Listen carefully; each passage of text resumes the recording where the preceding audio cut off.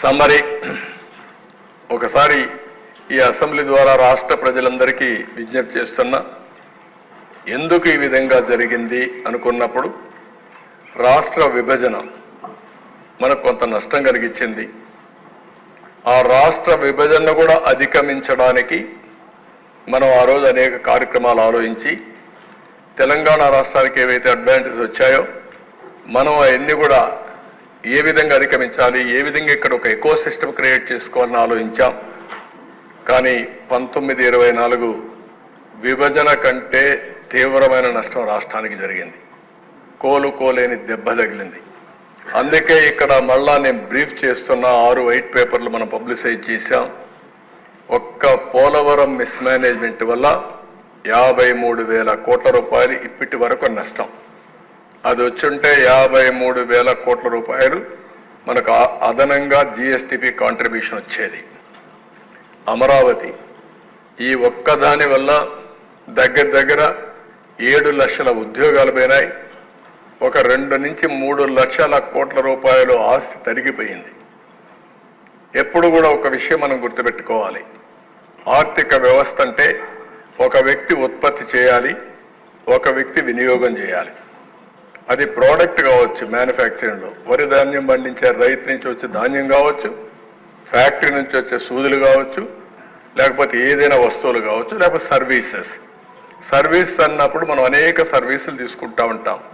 ఇప్పుడు band with వాడతాం దానికి డబ్బులు కడతాం సెల్ ఫోన్కి వాడతాం దానికి యూజర్ ఛార్జెస్ కడతాం.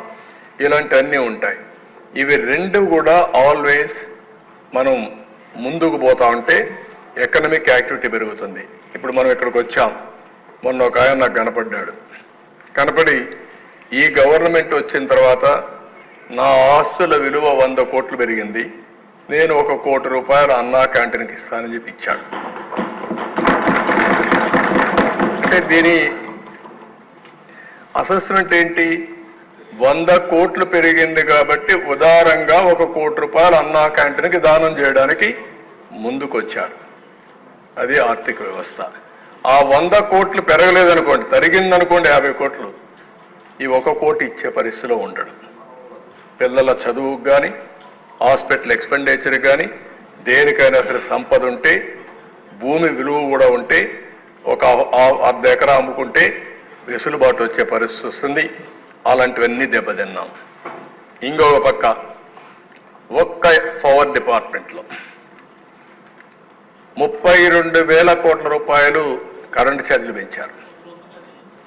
కరెంటు ఛార్జీలు పెంచి left and right short term power purchase చేశారు.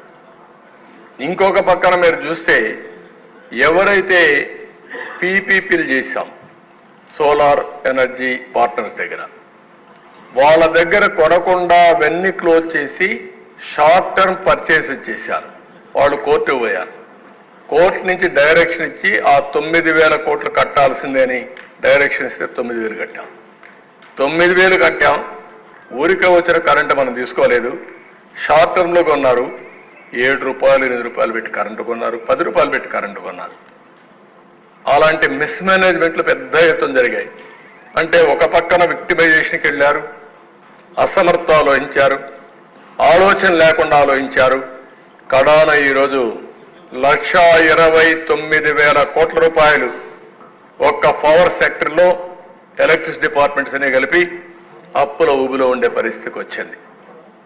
ఇది ఎప్పుడు కూడా సమర్థవంతమైన పాలన ఉంటే ఎక్కడికక్కడ వెసులుబాటు వస్తుంది. సమర్ అసమర్థుల పాలన ఉంటే ఈ విధంగా క్షీణించిపోయే పరిస్థితులు వస్తాయి. నెక్స్ట్ నేచురల్ రిసోర్సెస్ దేవుడిచ్చిన సంపద ఇసుక ఎన్ని అరాచకాలు జరిగాయో చూసాం ఎవరు చెప్పినా ఏం లేదు. ఏడు వేల కోట్ల రూపాయలు దోచుకున్నారు.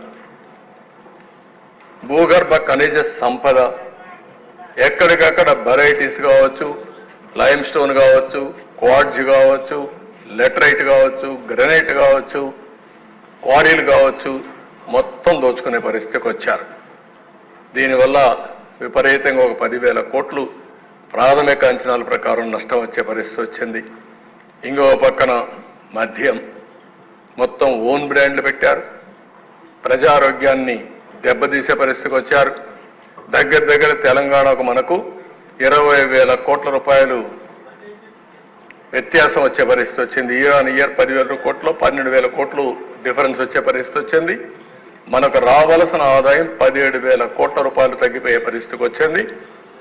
ఇక్కడ పెట్టిన బ్రాండ్లు రేట్లు చూసిన తర్వాత కర్ణాటక తెలంగాణ తమిళనాడు ఒరిస్సా ఏదైతే వాళ్ళ బ్రాండ్స్ ఇక్కడ వచ్చి అమ్ముకునే పరిస్థితికి వచ్చారు. లా అండ్ ఆర్డర్ నిన్నే మాట్లాడాం. ఇవన్నీ మాట్లాడి అందరిపైన కేసులు పెట్టే పరిస్థితికి వచ్చారు.